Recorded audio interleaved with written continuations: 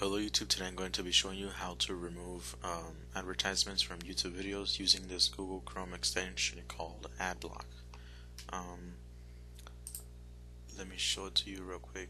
Um, if you don't have it, well it looks like this and just type type this in on Google extensions um,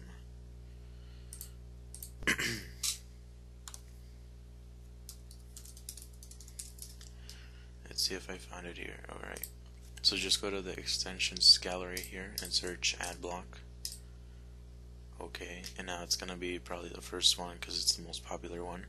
So just install that, and then once you've done that, um, go to the extensions and um, go to the options here, and then click on block ads inside YouTube videos.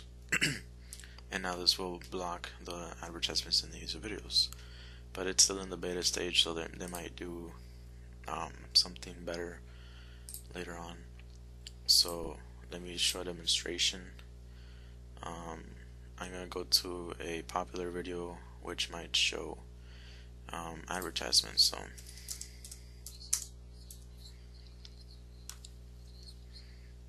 Okay now I'm just gonna click it and Alright, so there was supposed to be an advertisement here. As you can see right there, it says ad block options. Um, let me zoom in here. Right there, ad block options.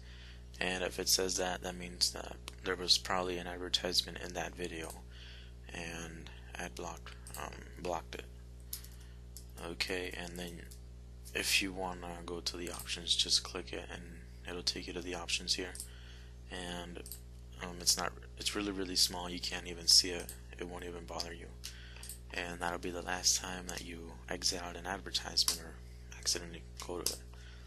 Alright? And it will still leave the advertisements on the side here um, because it's not meant for that. It's meant for inside the YouTube video.